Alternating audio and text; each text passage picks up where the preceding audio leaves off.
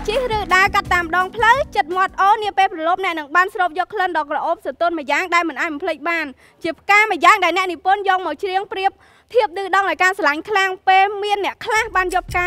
ដ៏ក្រអូបនេះមកដាក់ឈ្មោះឲ្យកូនចៅទៀតផងកាជាអីដែរដល់មកអីកាកាម៉ាលីអូយចង់ដែរមិនអូចាចាឥឡូវក្រុមខ្ញុំត្រូវបានបញ្ចប់ហើយប៉ុន្តែដល់វគ្គយូរ៉ូម្ដងផ្ដើម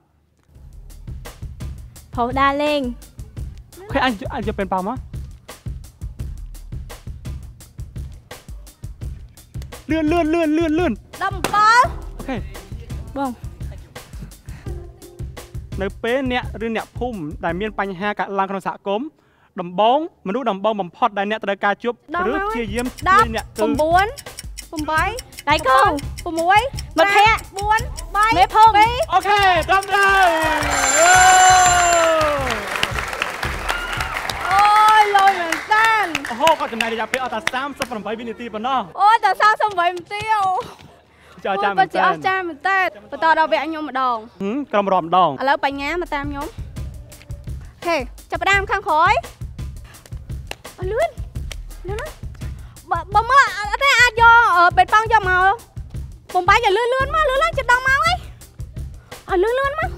ចាំបាច់ឲ្យផោងផោងណាជន់ឲ្យខ្លាំងណាអូអឺ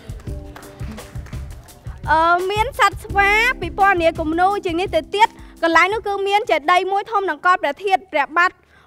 បរមរាជចៅរាជាញាតកន្លែងណាកន្លែងណាគឺជាកន្លែងណាលឿនឡើងចិត្តដល់មកកន្លែង8 7 6កន្លែង5ការៈ4ការៈ3កន្លែងចាញ់ចាញ់ចាញ់ហើយបាត់ជាសោកស្ដាយមែនតើអូយអញ្ជើញបញ្ញាអញ្ជើញមកខាងមុខមក អូយហេតុអីក៏អញ្ចឹងស៊ូស៊ូឥឡូវក្រុមយ៉ារ៉ូចាប់ផ្ដើមម្ដងបាទគាត់ទៅឈររួចរាល់ហើយចាប់ផ្ដើមហមវង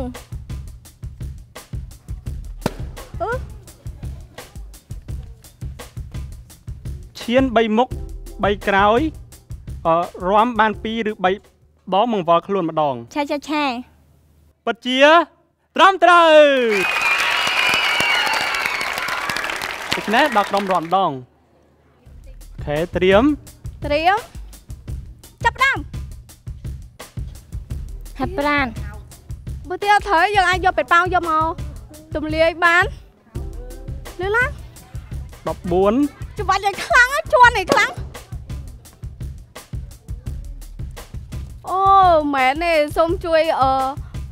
ចាប់ពេតប៉ោងមួយទៀតមកព្រោះថាអានេះសំណាក្រក់ថាចាប់អត់បានណាហើយជួយបងប្អូនគ្នាលឿនតិច8 7 6 5 4 3 2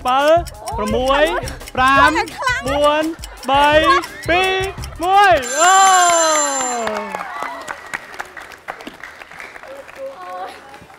ឥឡូវសូមស្វាគមន៍ឲ្យក្រុមអ្នកឈ្នះមួយ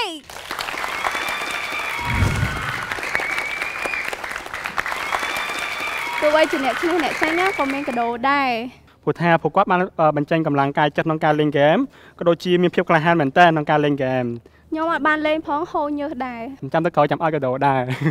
ប៉ុន្មានហើយដោយសារតពេលវេលាដល់យើងដល់កំណត់វគ្គស៊ូស៊ូឡាឡាក៏ដល់ទីបញ្ចប់ប៉ុន្តែកុំតន់អាចទៅណាយើងនៅមានវគ្គបន្តទៀត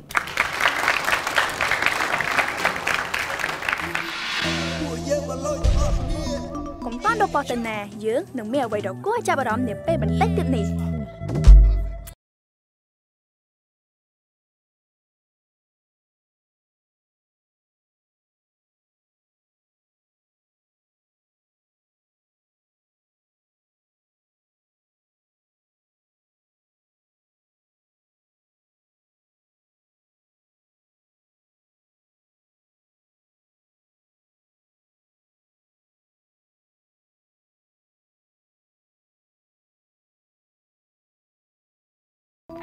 សូមស្វាគមន៍ម្ដងទៀតមកកាន់កម្មវិធី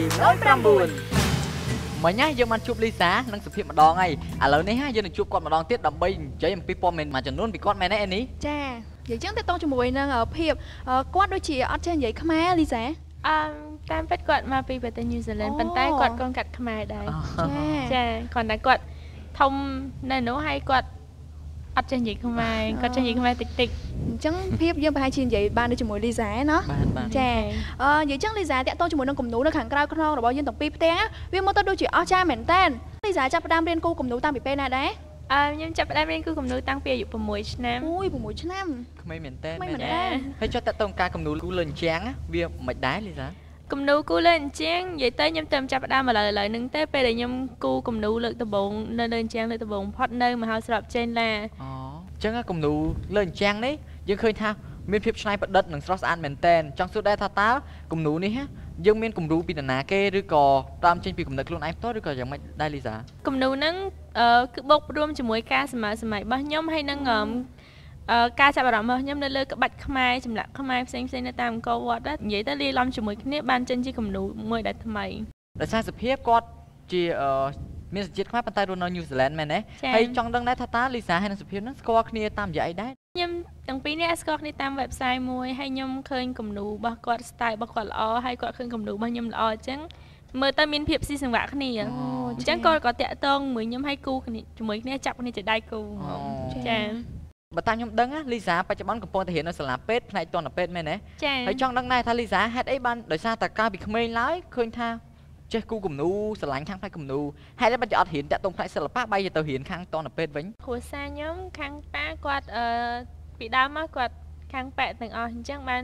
ខ្ញុំមានកំណត់មួយថាខ្ញុំចង់រៀនប៉ែតដែរចាអញ្ចឹងលីសារៀនពេទ្យនេះឆ្នាំទីម៉ានអីរៀនឆ្នាំទី5អូឆ្នាំទី5ចិត្តចប់ហើយមែនទេនេះ ពេលដែលបញ្ចប់ការសិក្សាផ្នែកពេទ្យតើតើលីសានឹងបញ្ចប់អាជីពជាអ្នកគូគំនូឬក៏ចង់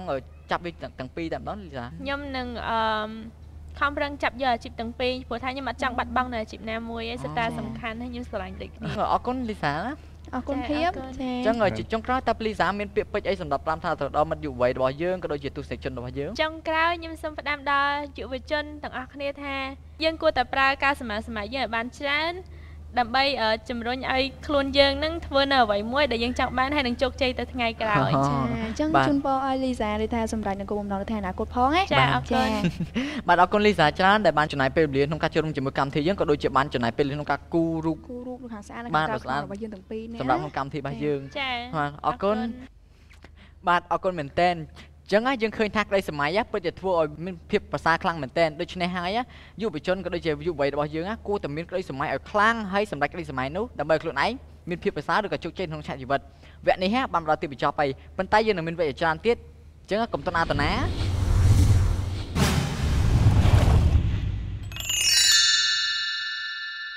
ជុំនឹងខ្ញុំសុភាព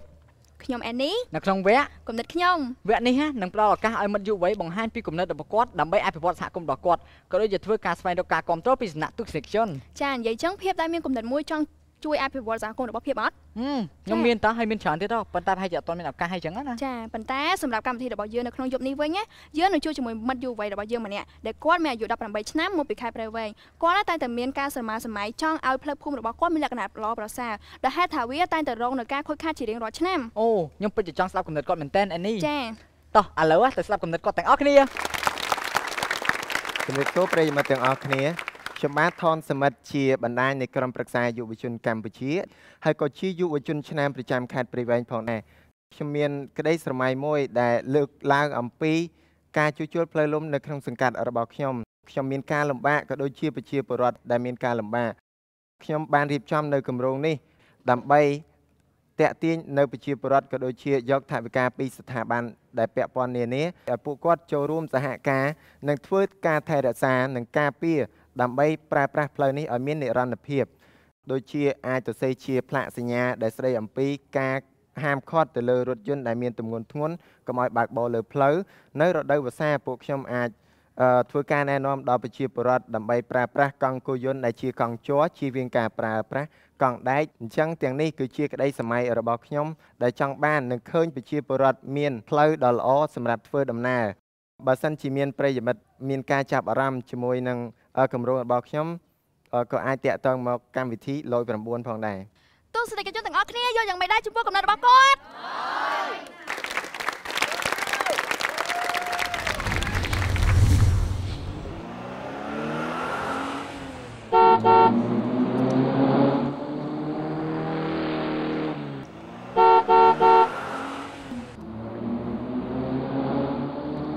ដល់ណាឯងសុភាព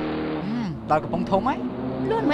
អេខ្ញុំបើកលឿនចឹងអត់គ្រប់ច្បាប់ចរាចរណ៍ឯងហេពាក់ខ្សែក្បាត់ដេធ្វើត្រូវស្រួលឡាអត់គ្រប់ចាប់ចរាចរណ៍ហ្មងមកមកបានឯភាពនេះឈប់សម័យមើលឥឡូវនេះយើងកំពុងនៅស្ទីឌីយោហ៎ធ្វើលេងសោះហ្នឹងហ่าអេនីអើយ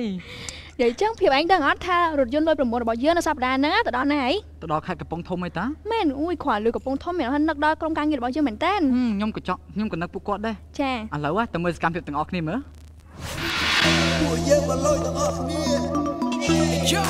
ខ្ញុំមនីរតពេលនេះខ្ញុំបានមកដល់ព្រៃប្រោះស្រុកកំពង់ស្វាយខេត្តកំពង់ធំហើយនេះជាលើកទី1ដែលខ្ញុំបានមកដល់ទីនេះជាមួយនឹងរថយន្តឡូ9របស់យើងហើយនៅខាងក្រោយខ្ញុំគឺមានអ្នកក្រុមឡូ9មកក្រុមដែលគាត់នឹងចូលរួមលេងជាមួយពួកយើងនៅរមណីយដ្ឋានព្រៃប្រោះទាំងអស់គ្នា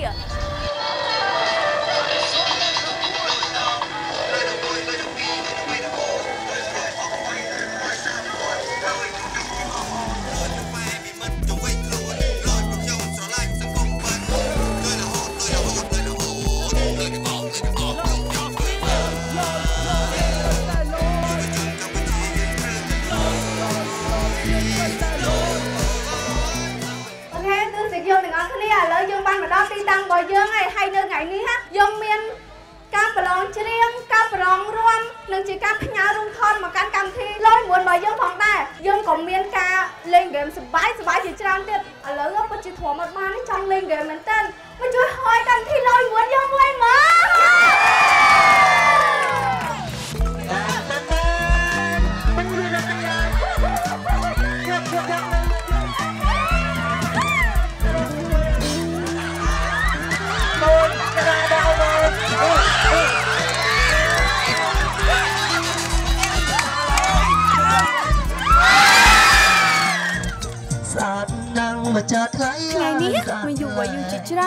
បានចូលរួមប្រកួតរាំនិងច្រៀងប៉ុន្តែមានតែមួយក្រុមទេដែលនឹងឈ្នះទទួលបានទឹកប្រាក់50ដុល្លារហើយពួកគាត់ត្រូវយកទឹកប្រាក់នោះទៅចំណាយក្នុងភូមិឃុំរបស់ពួកគាត់ខ្ញុំណាពិតជាចង់ដឹងមែនតើថាពួកគាត់នឹងយកទឹកប្រាក់នោះទៅធ្វើអីណោះពេលនេះសំភារៈដូចជាសភៅអឺកតាសម្រាប់ការសិក្សារបស់ក្មេងកាព្រាយកទឹកប្រាក់នេះទៅជួយដល់ចាស់ជរានិងក្មេងៗដែលនៅក្នុងភូមិស្រុករបស់ខ្ញុំហេតុ អីបានជាយើងបង្កើតជាក្រុមរាំនឹងឡើងឮថាអឺកម្មវិធីលយ9ចូលមកខេត្តកំពង់ធំអញ្ចឹងខ្ញុំចង់អឺបបួលក្រុមអឺមិត្តភ័ក្តិខ្ញុំដែលជាយុវជនហ្នឹងនាំគ្នាមកបង្កើតជាក្បាច់រាំដើម្បីបង្កើតអឺបញ្ចេញសមត្ថភាពដើម្បីឲ្យយុវជនទាំងអស់នៅក្នុងប្រទេសជាតិកម្ពុជាយើងហ្នឹងអឺធ្វើតាមរូបខ្ញុំក្រុមខ្ញុំអូខេបញ្ចេញសមត្ថភាពដូចគ្នាយុវវ័យយើងបានបង្កើត logo លយ9យ៉ាងច្រើនហើយមានយុវវ័យយើងម្នាក់ ឈ្មោះច័ន្ទហ្សាដាឡែនជាពេទ្យឈ្មោះនៅមណ្ឌលសុខភាពស្រយើខេត្តកំពង់ធំបានច្នៃប្រឌិត logo លយ9ពីសេរ៉ាំងហេតុអីបានជាបងមានគំនិតថានឹងយកសារ៉ាំងនេះដើម្បីបង្កើតជា logo លយមួយនឹងឡើងអញ្ចឹង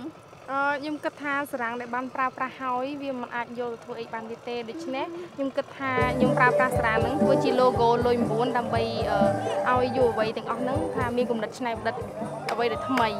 ហើយលយសប្បាយរីករាយណាស់បានចូលក្នុងកម្មវិធីនេះ ព្រោះថាពីមុនខ្ញុំមិនដែលចូលរួមកម្មវិធីអីទេដូច្នេះ